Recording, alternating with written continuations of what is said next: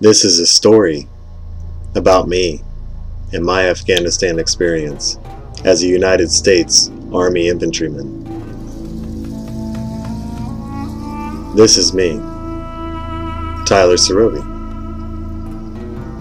I am the character of this story.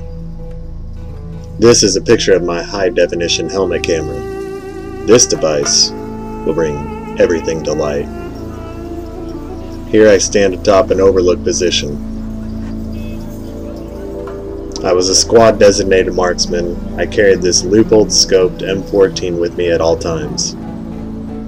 I also carried this ACOG scoped M4 with me at all times as well, as the squad designated marksman, along with the tactical shotgun. I was always keeping an eye out for the enemy. I was a good driver in the company. This means Lieutenant Morris would continuously use me as his lead driver and the head of the convoy at any given time. I am navigationally gifted and I never got our company lost. Here, you see Lieutenant Morris conducting some reconnaissance on some of the highly advanced technology that the mine-resistant armor-protected all-terrain vehicles had inside of them. Here I'm giving my gunner my helmet camera for the day. That is so that he will be capable of catching this bird's eye view of the treacherous, off-road, 60-mile route to Galush Valley.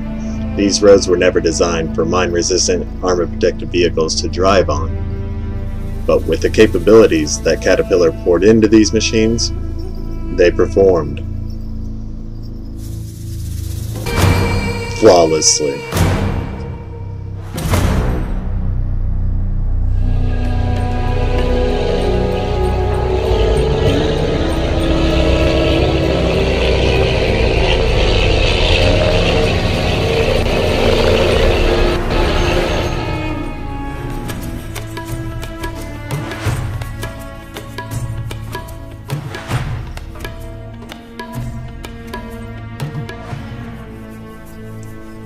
This is 2nd Squad, from the 2nd Platoon.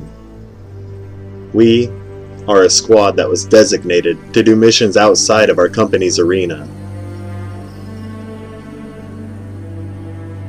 2nd Squad and 1st Squad from the 2nd Platoon of Bravo Company's 1 and 133rd Infantry, Red Bull Division.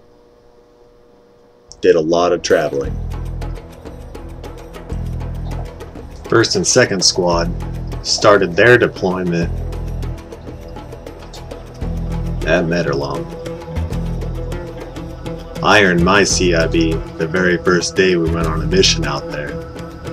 The rest of our company started their deployment at Torkham Gate in Peshawar province on the Pakistan-Afghanistan border.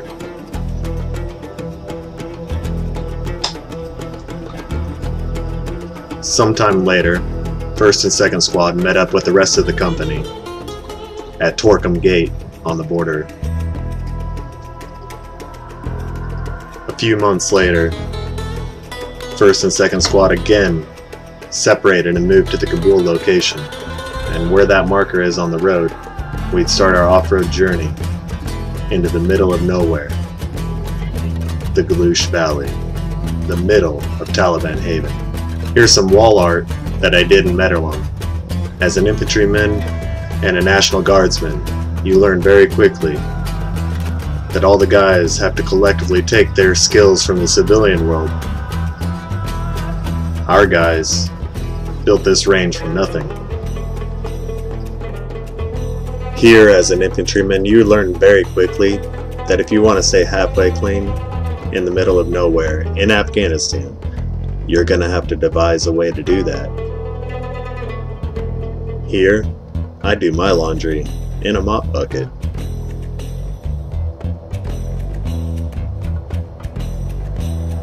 At least the drying part was fairly simple.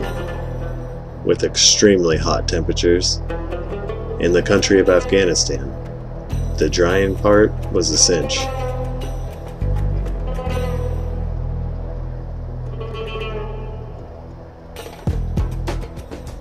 This country yields a brutal sun, a brutal environment, a brutal lifestyle.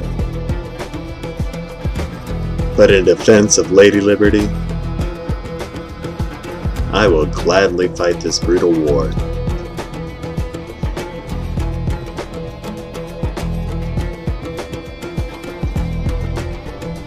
As an infantryman, I needed to collect all the items I needed for myself to stay comfortable. Be it that mop bucket, or maybe to protect ourselves from the elements, sandstorms or rain, or gunfire. We dug trench holes and surrounded the fighting positions with sandbags. I collected this camo netting, not to hide ourselves, but to protect ourselves from the sun and the parachute tarps kept us dry in the rainy times.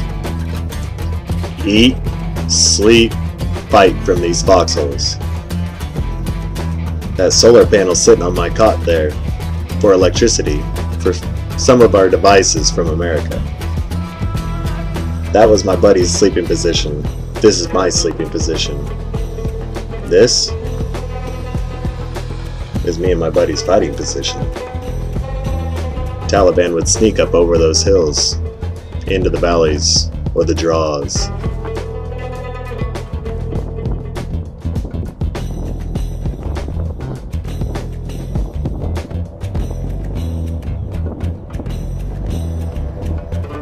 You are constantly vigilant and constantly readying yourself for another fight. This war is ruthless. This country's people are ruthless. Therefore, we have to be ruthless to survive.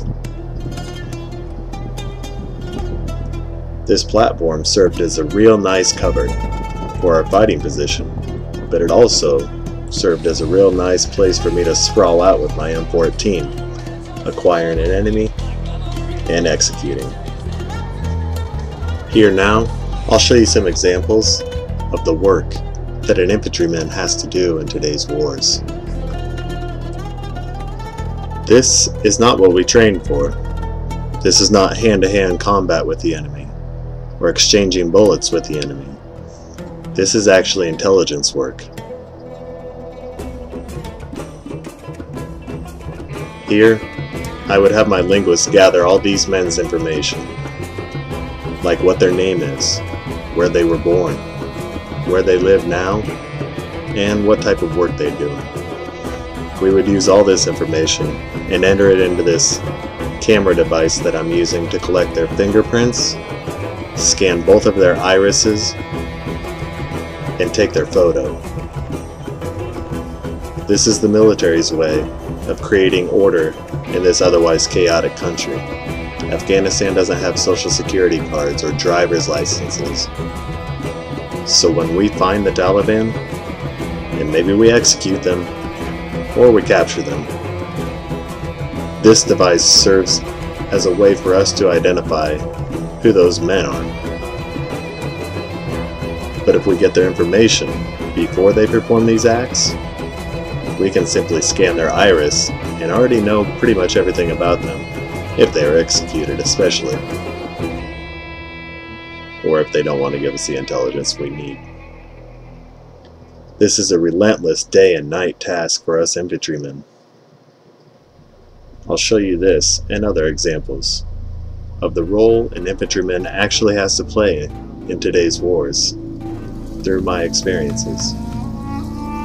All of these tasks and missions are very different from what we train for here in America.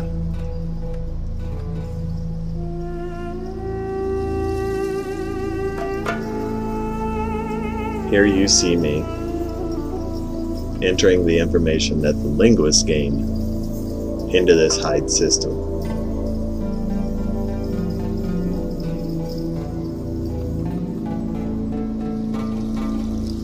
Hours and hours and hours and days and days and days of all this intel gathering. Here, I'm on another overwatch position in the mountains overlooking the castles on a Pakistan-Afghanistan border. We're in that gray zone area where borders are not clearly defined. This day, I'm up here on the lookout with Sergeant Enner and Sergeant Wilsack. Sergeant Enner is another squad designated marksman from 1st Squad. Sergeant Wilsack is our forward observer to call in artillery in the event that something goes very wrong here.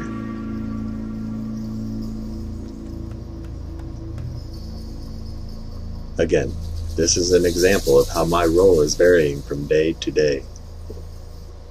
From intel gathering to overwatch sniper positions.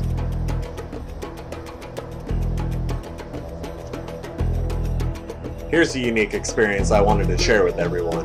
This is a full-grown man from a pygmy tribe. He's much smaller than any other ordinary human being. The tall man holding onto his shoulder is blind and uses him as a guide. The person going behind that man is a teenage adult. And the kid running up next to him is probably no older than 7 or 8 years old. He's a very small human being and a very unique experience. Here's another small individual.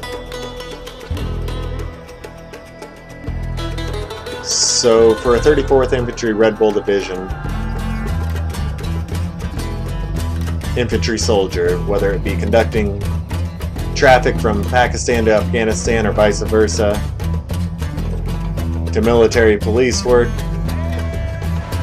to going out to villages and meeting with tribesmen and children, or holding sniper overlook positions. The role for an infantryman in today's wars is never defined. This is a vehicle-borne IED that went off on the Pakistan side trying to kill all of our men over here. He failed.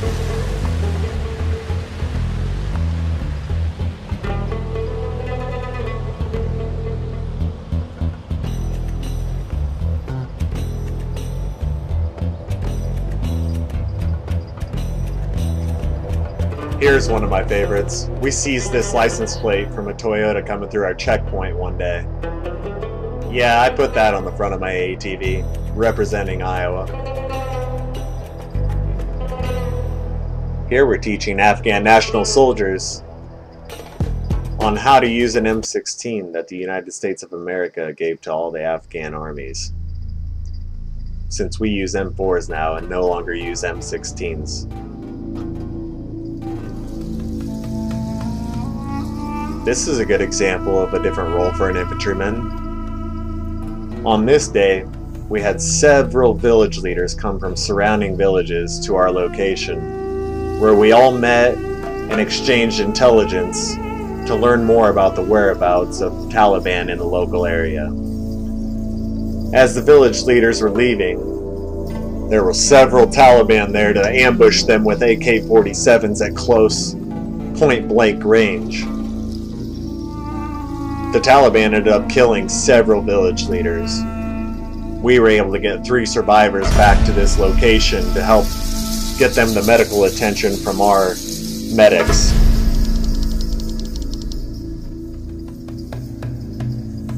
I've just run back to base and grabbed a bunch of Hextends and brought them back to these guys so that they have replenishment materials.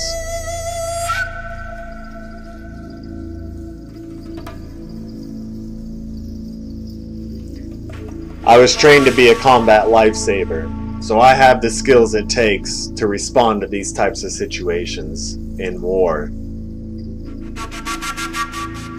As an infantryman, I found myself in several situations where I never imagined I would. You have to be ready for anything, as an infantryman in today's war.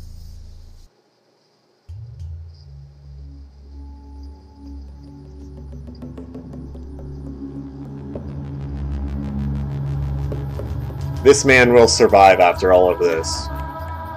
He had several bullet wounds to his torso, but he will survive.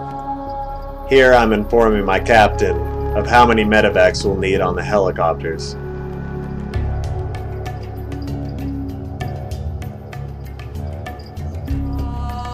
Then I hustle back to the action to see if I can be of any use.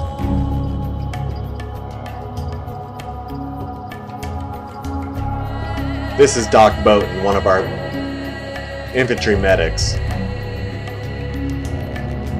This man had his whole lower jaw shot off, but he too will survive. Two out of over a dozen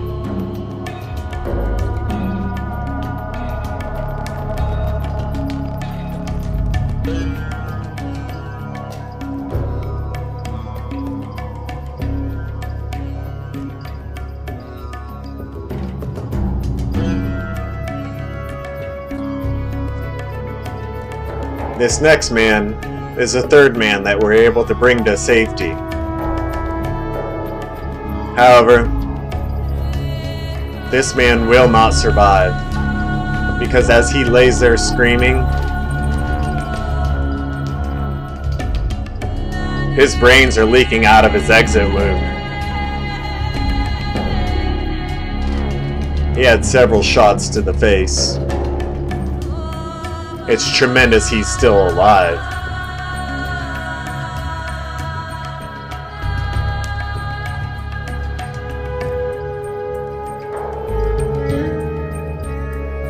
This war is ruthless. This environment is ruthless. This country's people are ruthless. You have to be ready as an infantryman in this war. Ready to perform any task at any given time. Because if you can't make the cut,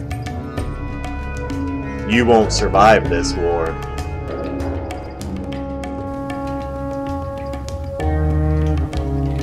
Here we've rucked to the top of this mountain for another overlook position. Our battalion commander came to our forward operating base to visit for the day. So once he had left, and our mission began to dwindle down. We exchanged camaraderie between nations. I'm holding this man's Afghan National Army Dragunov, while he holds my M14. This exchange of camaraderie between nations is quite a beautiful thing.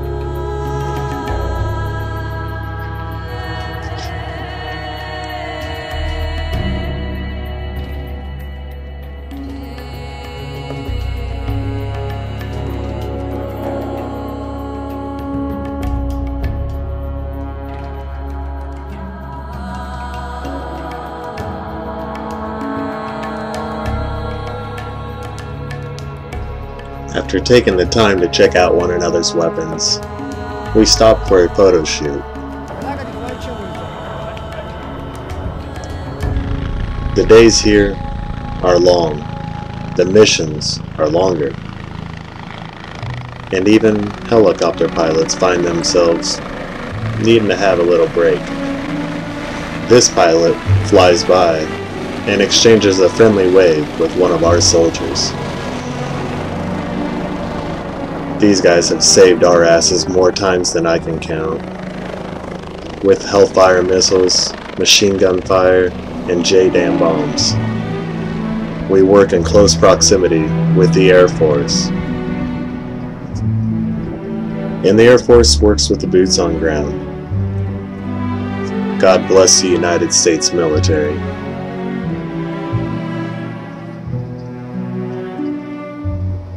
Here, I'm receiving my Combat Infantry Badge. This is the first one I'd received, on the very first mission I'd ever gone out on.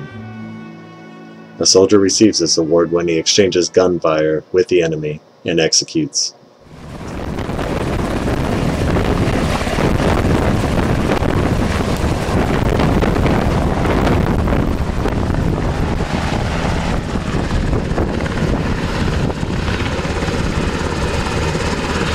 Here I catch a drone. Landing at Jalalabad Air Force Base. Compared to our guys on the right, that thing's way bigger than you envision. These are our old Desert Storm helicopters that now the Afghan National Army uses.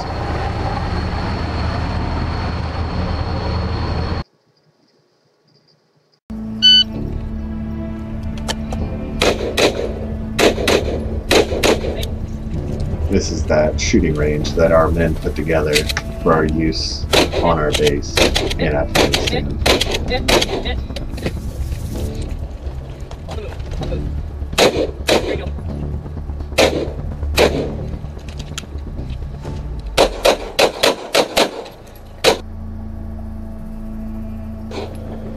This is our long range shooting range outside of our base so that we can use our long range rifles, our 50 caliber machine guns, our 240 machine guns, our 249 machine guns, our Claymore mines, and our AT-4 rockets. Here we gotta practice using Claymore mines. Gotta make sure they work.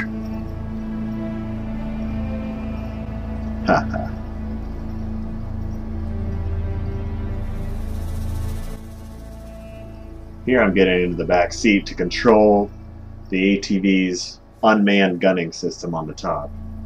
I control from the back seat, behind the driver, the 50 caliber or any weapon system that you want to put on the top.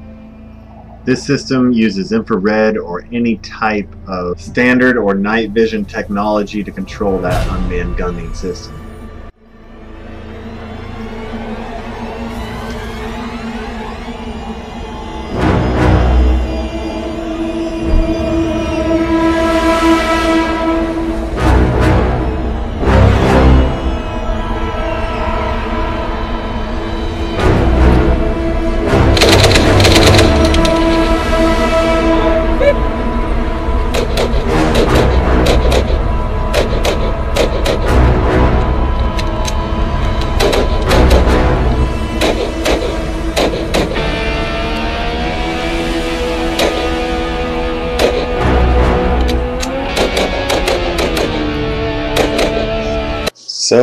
After all the time that I've had back home now, to think, to ponder, to dream, to assume, to try to understand what this all was worth,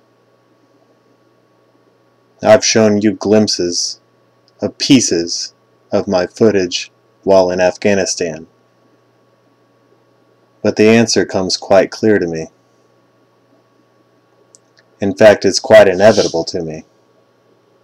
After all this time to think now, it's very easy for me to see that it all comes back to the kids. It all correlates and intertwines and interconnects.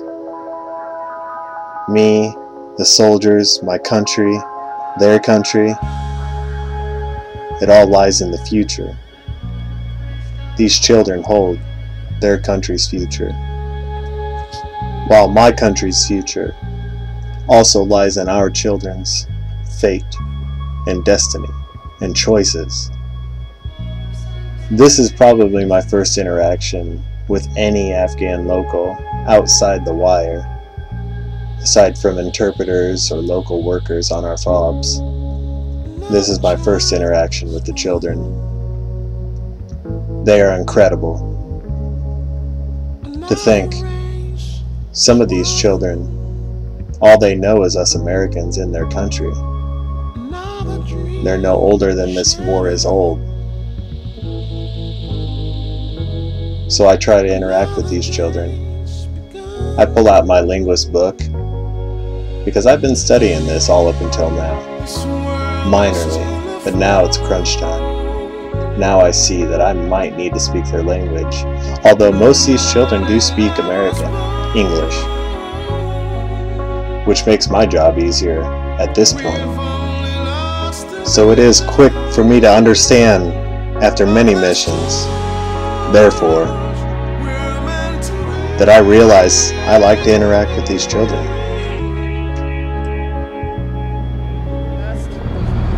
Assalamu alaikum. what? Yeah, it is hard. You think it's harder to learn English? Yeah. It's hard to learn English for you. As the days went on, I attempted to learn their language better and better each and every time. Uh, assalamu alaikum. What? Oh, wa alaikum. wa alaikum assalam. Assalamu. Assalamu. Assalamu. Uh, this is probably my 20th mission. Here I'm in another area, around the Pakistan border, on marker A at Torkham Gate. Here this young man is asking me for a cigarette. He's willing to trade off some Nashwar, which is chewing tobacco, in Afghanistan.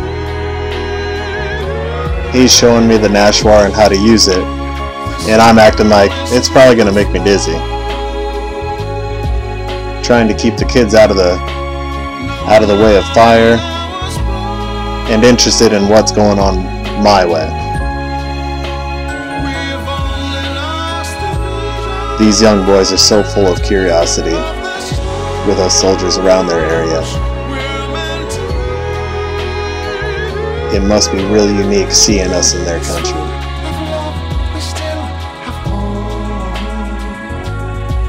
As time went on, I found the importance of knowing their language, much more as time went on.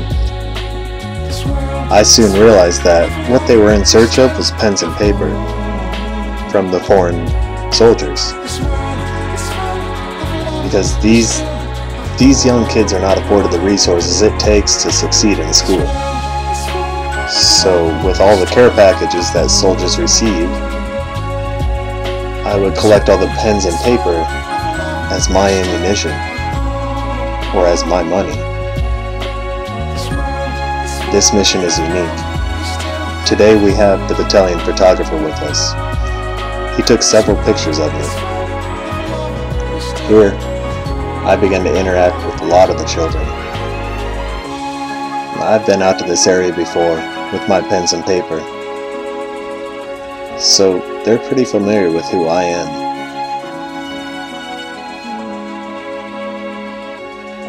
Once once you get one, it doesn't take too long to build a crowd. But my commander didn't mind that so much. It kept the kids out of their business. And it served as a double-edged sword for me. Here, notice you see 10 or more little children, but they're girls. Funny, in a country where women are suppressed and not allowed to talk to other men, especially the infidel. This appears to be some sort of desperate cry for security, organization,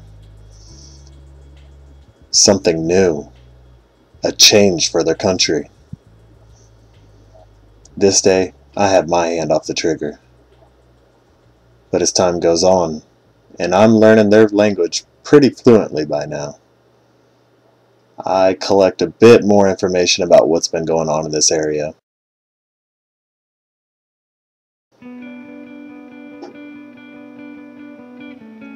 And they work to get to the bottom of it.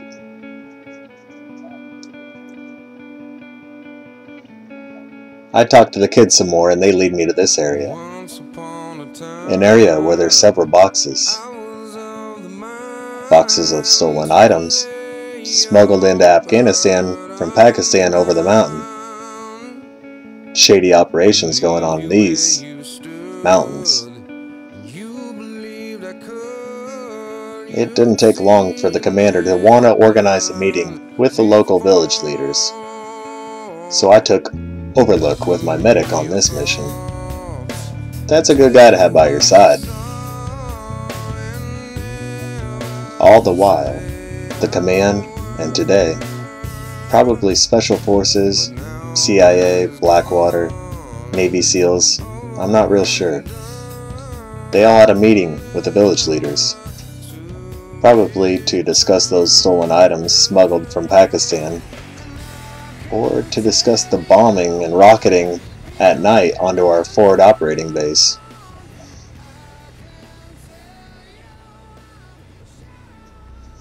Those men will be the only ones that know what went on in this meeting, and whether or not it was successful. That's too far above my pay grade.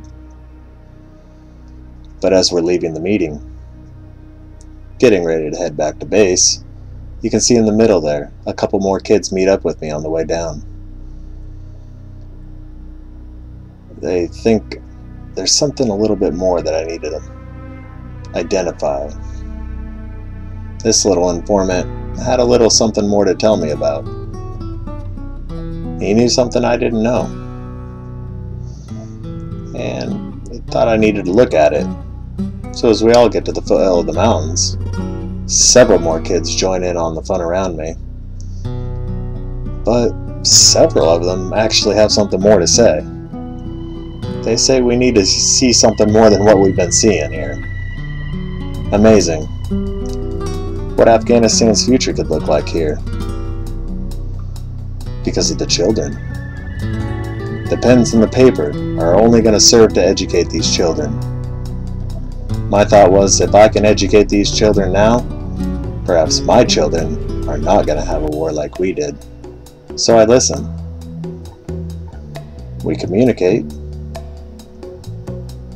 I'd call that a pretty successful mission from what it was otherwise going to be. All because of the kids. These kids see everything, they hear everything. But is anyone listening to them? We're educating these little ones. Perhaps we need to listen to them. Here, I'm going to take you on a drive through this village to show you the population of the children and all the people out. This is the last village we passed through from marker C on our 60 mile journey into the middle of nowhere, Galush Valley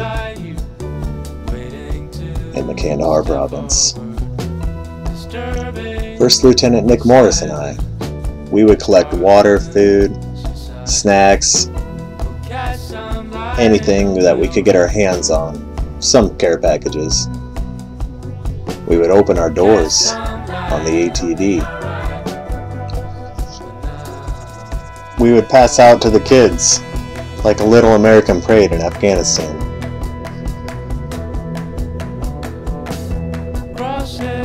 It's a vibrant community.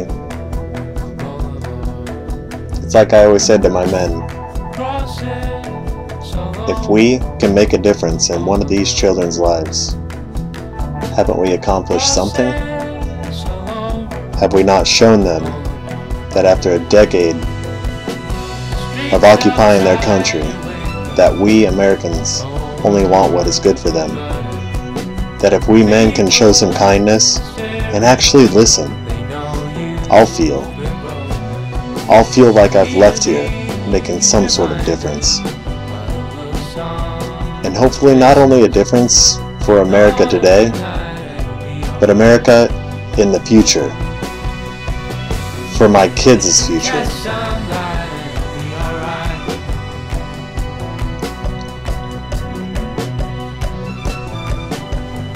You're not seeing it here, but to the left and to the right and over the walls and around the corner, there's little kids crouching around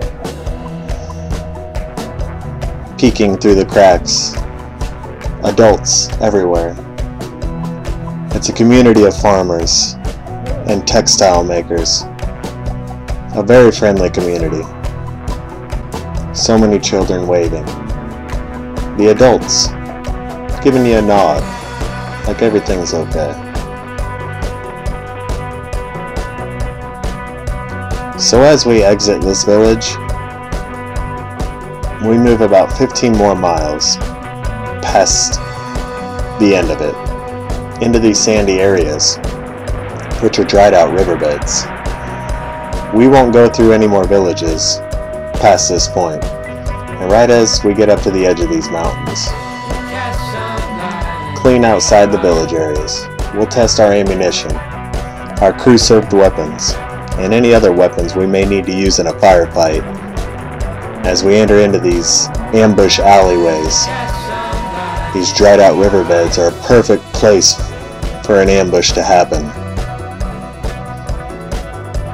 It would be far too easy for the Taliban to fire on us or blow us up. So this is where we test those weapons. As we're nearing here, it'll be easy for you to identify on the left three little bushes. You can go to the left or the right of those bushes. And we try to switch it up so that we aren't always following the same path. But these are identifiable. The three bushes, where I stop at about the last bush and allow my gunners to test fire their weapons. We'll be the first to test fire. And here I'm going to show you all this boring stuff. But it kind of serves a point. There's a reason we're test firing these weapons. Because when it comes down to it, when you're in a fight, are you really going to be wanting to do this instead of firing at the enemy? There's something happening here. I don't think so. Exactly so, taking the short time it takes to stop and charge our weapons just to make sure they fire is pretty darn worth it. When you wake up in the morning and you're not feeling like fighting, this is what's going to happen. Oh, there you go.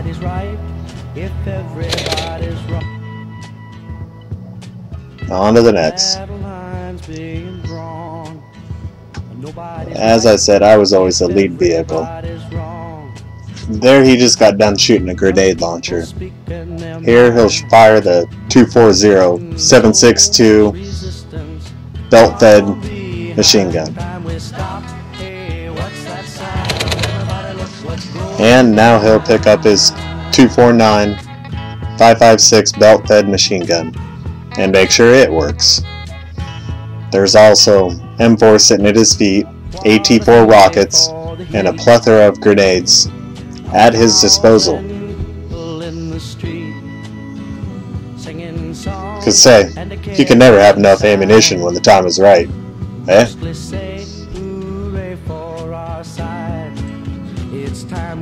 Yep. There we are. Here now you hear echoing sounds from every vehicle behind us consecutively, testing their crew served weapons.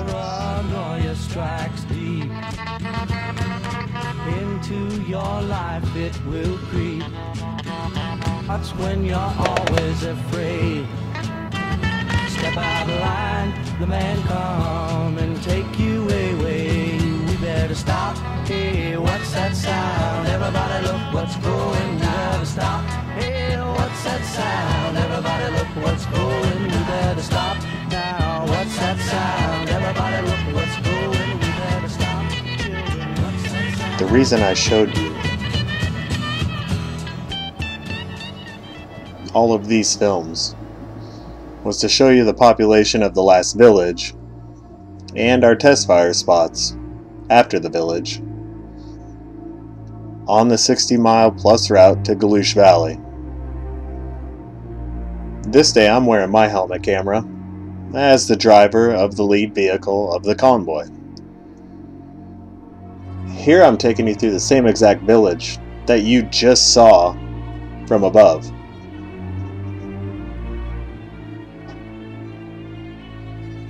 Of course, Lieutenant Morris and I had our waters, our food, our care package stuff to throw to the kids.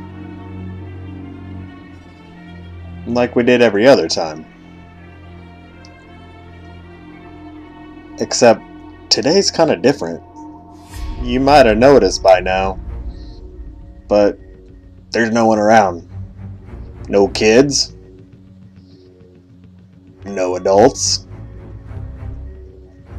no livestock. So, after a year long deployment, we're becoming pretty complacent by now. Because we should have stopped dead in our tracks right here. Because in our training, they told us when there's no one around, there's probably a reason. We learned that word of mouth is the only form of communication in Afghanistan. So if there's no one around, Everyone probably knows what's going on.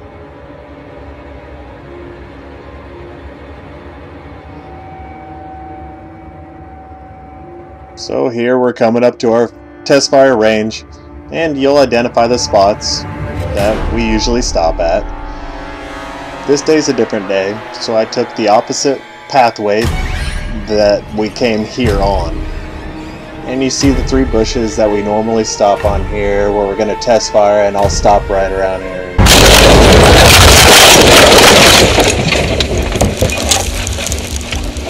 Is everybody okay? Yep. Anybody hurt? LT! LT! I'm unconscious and unresponsive in this. LT is Lieutenant Morris. He has a hole in his throat and he's gonna lose his leg. Who's! He suffered the same injuries as me. LT is hurt! LT, just stay right there! LT, stay LT, right don't there! move! Don't move, sir!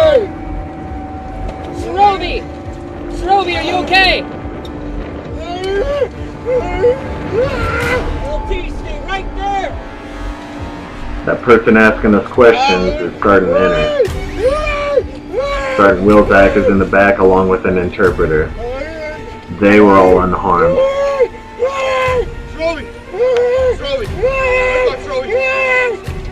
LT, stay right there!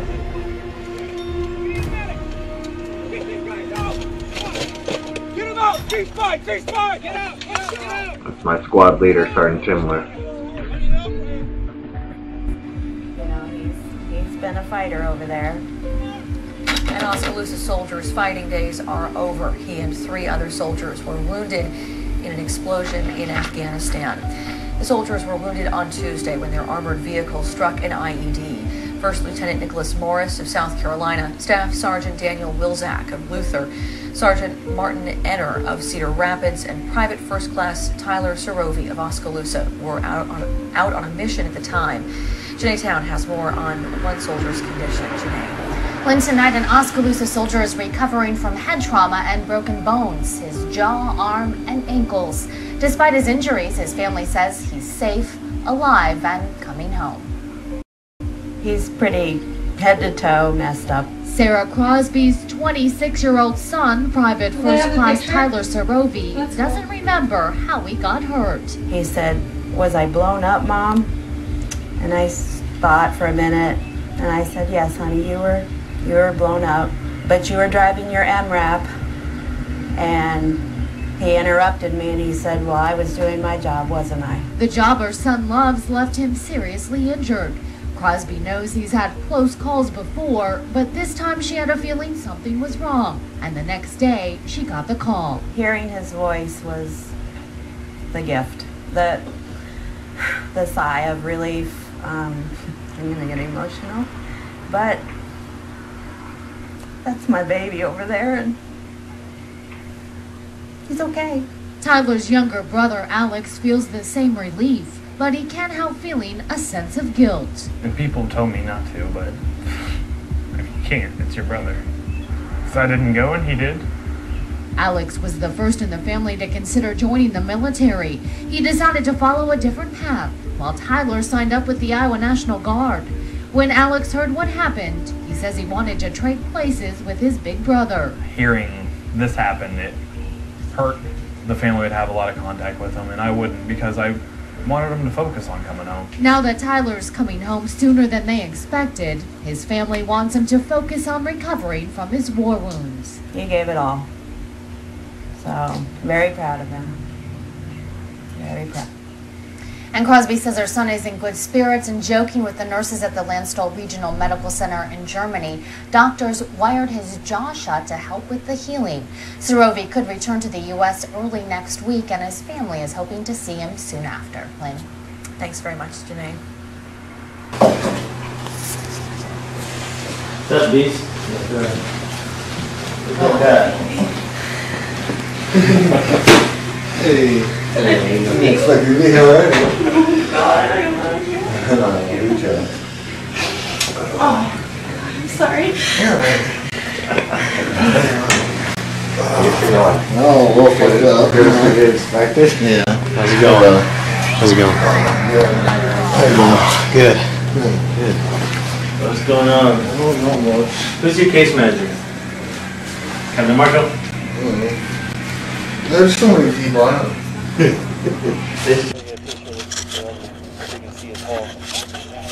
Yeah. It was still on when I found it. Here's your hole, Sarovi. My medic found my camera and knew how to operate it.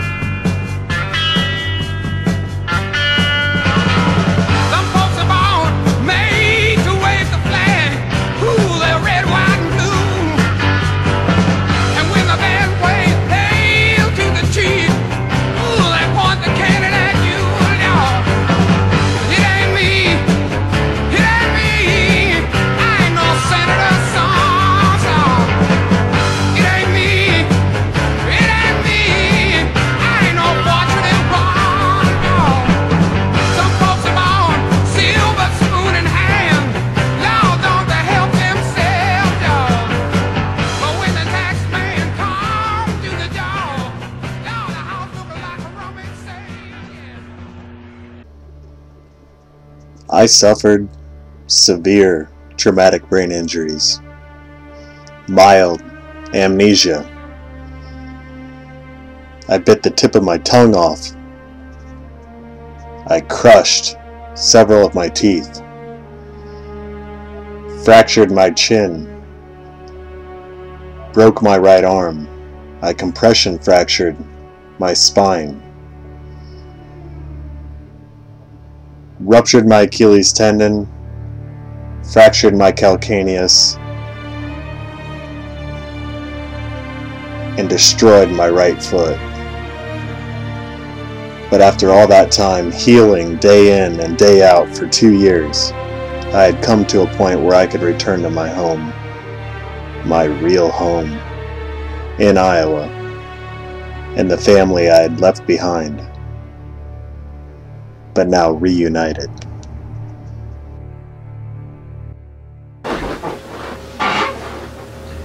Alright, everybody. Now you've seen what it was for me to be an infantryman in Operation Enduring Freedom. It was a long year, a struggling time, a time I shall never forget, and by the Lord's grace, that I get to remember. But as you can see, and as I displayed in my film, there are so many different roles for an infantryman to assume while in theater. We aren't just killing the bad guy. We have multiple jobs as an infantryman. But as you can tell, the kids made an impact on me. And it was my hope that I made an impact on the kids because all I could do was influence their perception, especially towards the end of our stay in their country, our decade-long stay in Operation Enduring Freedom as Americans. So it is my hope that the country can advance themselves on some level so that our kids, my kids, as I said before, don't have to assume our war and our problems that we've created and or manifested during our stay, during our war. Thank you for viewing. I hope this has given you some type of insight. Thanks, y'all.